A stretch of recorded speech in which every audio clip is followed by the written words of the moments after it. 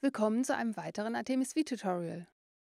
In folgendem Tutorial erfahren Sie mehr über die Einstellungsmöglichkeiten des APM-Generators. In vorherigem Tutorial wurden die Grundlagen des APM-Generators behandelt. Das aktuelle Tutorial beschäftigt sich mit weiteren Einstellungsmöglichkeiten, die Ihnen für die Berechnung der Drehzahl mit dem APM-Generator zur Verfügung stehen. Öffnen Sie eine Datei oder Marke mit dem APM-Generator mit einem Rechtsklick und Open with APM Generator. Neben den Einstellungen, die Sie auch im Diagramm des Data Viewers nutzen können, wie zum Beispiel der Zoom-Funktion, können Sie im 3D-Diagramm des APM Generators die Detection Area festlegen. Die Detection Area legt fest, für welchen Ausschnitt des Signals die Drehzahl berechnet wird. Bewegen Sie den Mauszeiger an den oberen Rand des Diagramms, bis eine Pfeiltaste erscheint. Durch Verschieben des Balkens können Sie den Detektionsbereich für die Drehzahl eingrenzen und damit die Berechnung beschleunigen. In diesem Fall soll die Drehzahl eines Elektromotors künstlich erzeugt werden. Geben Sie unter Order eine im Signalverlauf deutlich erkennbare Ordnung ein und klicken Sie anschließend auf Mark Prominent Order.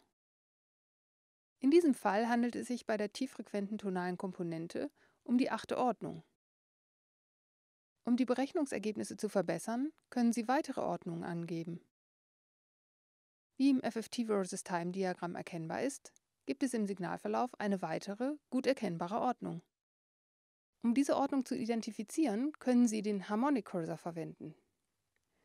Den Harmonic Cursor erreichen Sie mit einem Rechtsklick in das Diagramm. Bewegen Sie den Cursor an die entsprechende Stelle im Diagramm und Sie können die weitere als die 32. Ordnung identifizieren. Mit einem Doppelklick auf die achte Ordnung in der Skala werden Ihnen nur noch die Vielfachen dieser Ordnung angezeigt. Die zusätzliche Ordnung können Sie nun unter Additional Orders eintragen.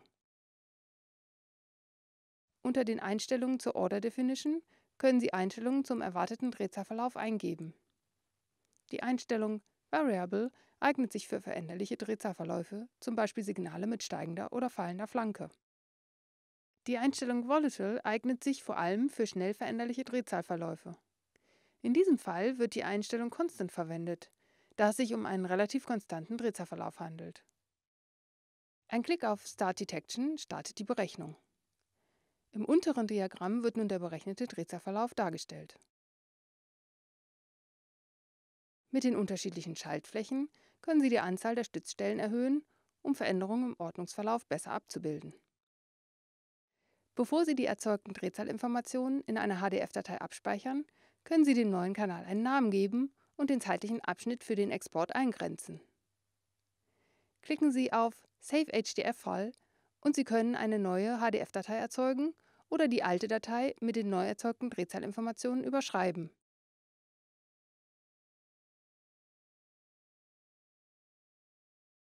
Im folgenden Beispiel soll erneut ein Drehzahlkanal für ein Elektromotorgeräusch erzeugt werden.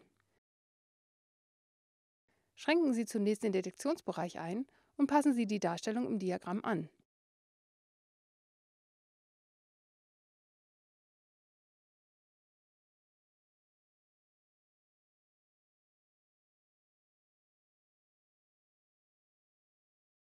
Markieren Sie die Ordnung und probieren Sie unterschiedliche Einstellungen für die Berechnung der Drehzahl aus.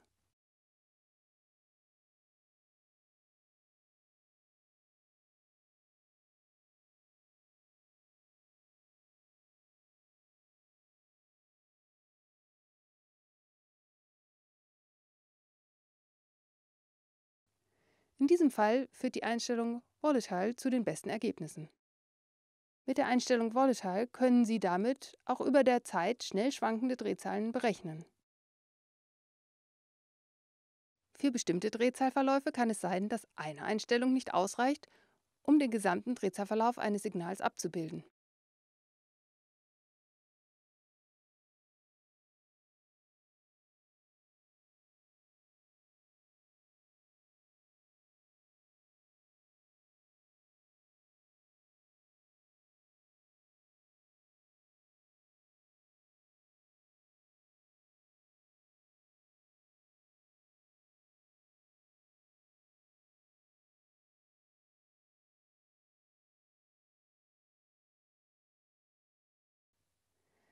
Für diesen Fall können Sie die Detection Area nutzen, um den Zeit- und Frequenzausschnitt zu definieren, für den die Berechnung durchgeführt wird.